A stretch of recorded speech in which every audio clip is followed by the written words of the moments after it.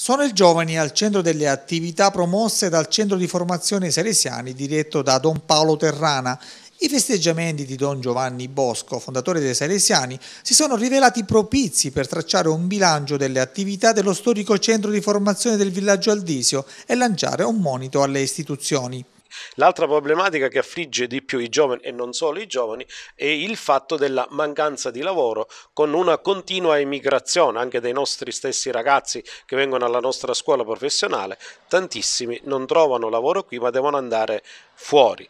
Fino alla settimana passata mi ha telefonato una persona voleva 5 saldatori per andare in Francia questo proprio per dire come purtroppo i nostri ragazzi non trovano spazio qui, ma trovano fuori. Quindi questa è una delle problematiche più grosse. Lo storico centro di formazione gelese, che aveva subito un duro colpo con il governo Crocetta, continua ad attraversare un momento difficile anche col nuovo presidente Musumeci. In mezzo a tanti problemi, perché purtroppo la regione non sempre è puntuale in quello che dovrebbe fare, stiamo cercando di andare avanti lo stesso. Certo, ci sono parecchie difficoltà, però noi, proprio perché ci teniamo al bene dei ragazzi, stiamo andando avanti.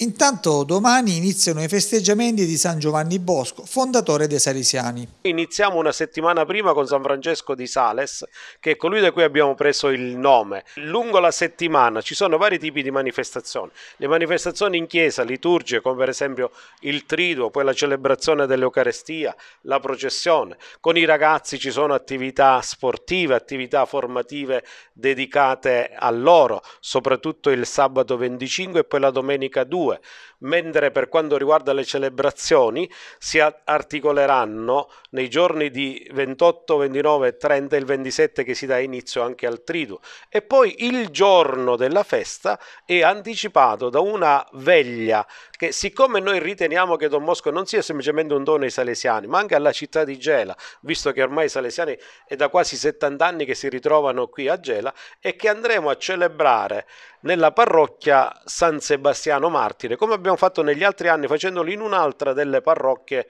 della città, proprio perché riteniamo, come dicevo, che Don Bosco è un dono non solo per noi salesiani, per noi suoi figli e per tutta la famiglia salesiana, ma anche per l'intera città di Gela.